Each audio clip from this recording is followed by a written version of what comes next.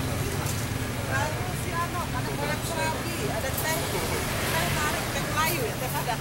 Padang. Teh padang. Ya, jalan ya. Sarapan pagi.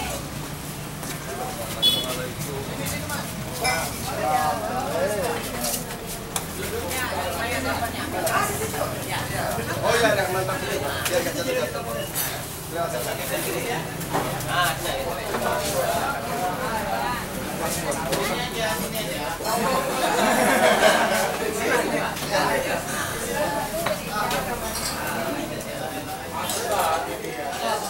Ada, lagi baru mandi, saya baru tiba. Hah? Iya, mau ngajak.